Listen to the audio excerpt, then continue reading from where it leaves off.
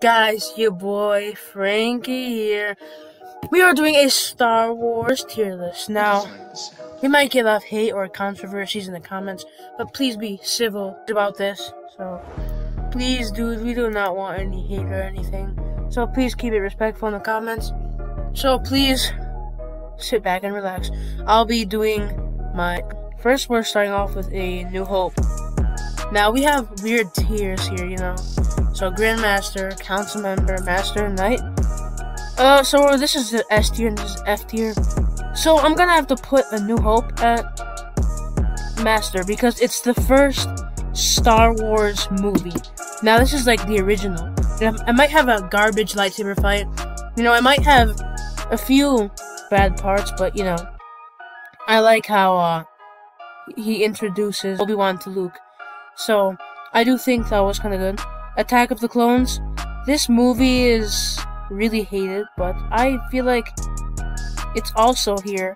Um, I don't know. I like this one because it has a lot of action, a better lightsaber duel, but it has garbage, garbage dialogue, and very garbage. I mean, it's not their fault for the acting, it's just the script. So the dialogue's pretty bad. It's cheesy, with love story, but yeah, it's pretty good. I like the clones and stuff. Star Wars Rebels, I feel like it's it's it's council member probably because this is just my opinion. I grew up watching this on TV, so it meant a lot.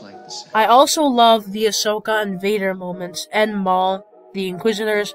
The only characters from the main crew I really like are Ezra and Sabine, but you know, Resistance is F tier.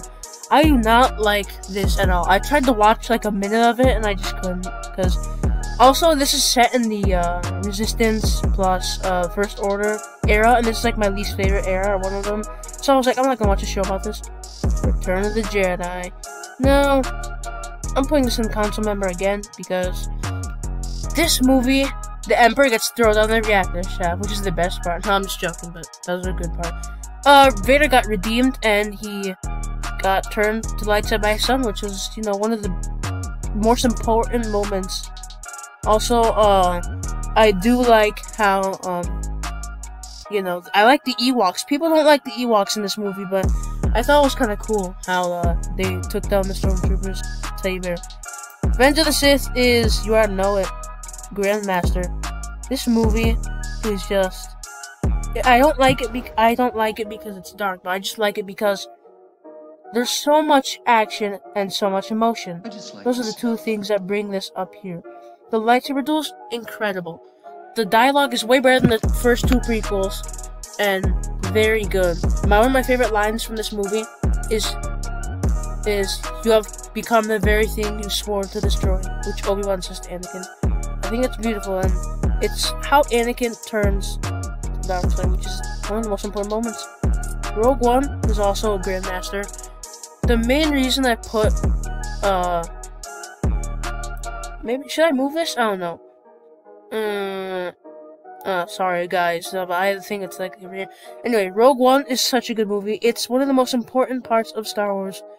Where you know that's how it's the origin of the Death Star plans, which you know I never thought about in the New Hope, but this leads to this. I mean, no, this leads to this. So it's like cool, so cool to tie up. And I love Chirrut Îmwe, the blind guy that can just destroy everyone. But yeah, Solo this movie was okay, but you know, um, I just thought it was like I like Han Solo, but he's not my favorite, so I didn't really, you know, I didn't really care too much. To get this out of the way, we're also putting this here because you know, number one, it's just kind of a weird movie. Rose Tico was kind of unnecessary. The Canto Bight was too. Also, um, you know, the Snoke thing was a bit weird too. Also, uh, I would be hated if I put this anywhere higher, so yeah.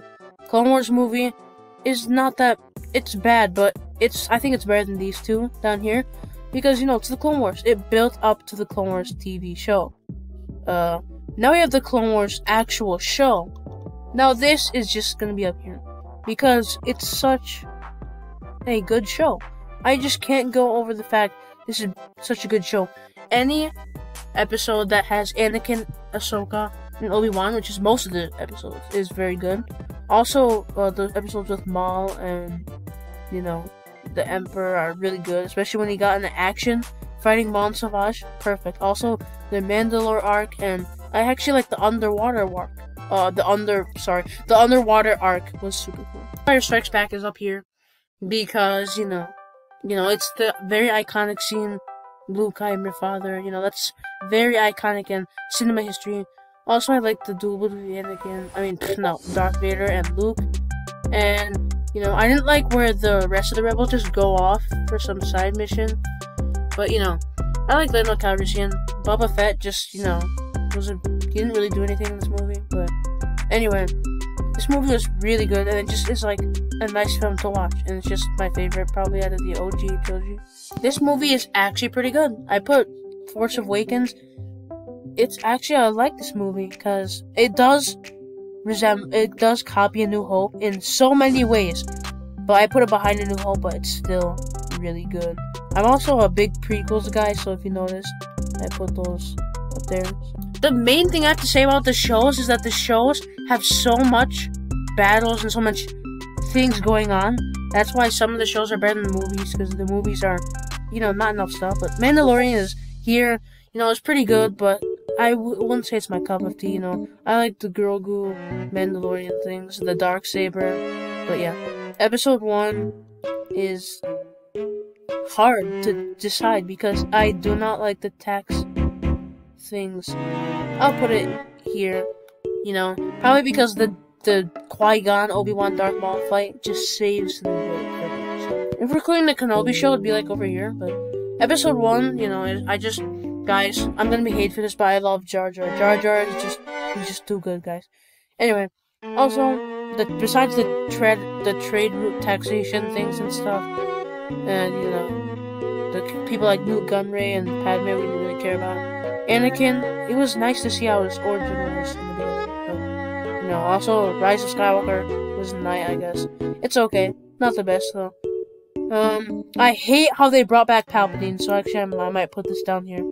Because that just ruins all of Anakin's redemption. How come he died, but Palpatine got to survive? That's just so unfair. This is my ranking. Uh, hope you guys enjoy and agree. Also, my sister's ranking was she had Rebels uh, as her number two spot, and she also had Return of the Jedi as her number one spot, so that'd be up here. So yeah, like and subscribe, the like button, see ya.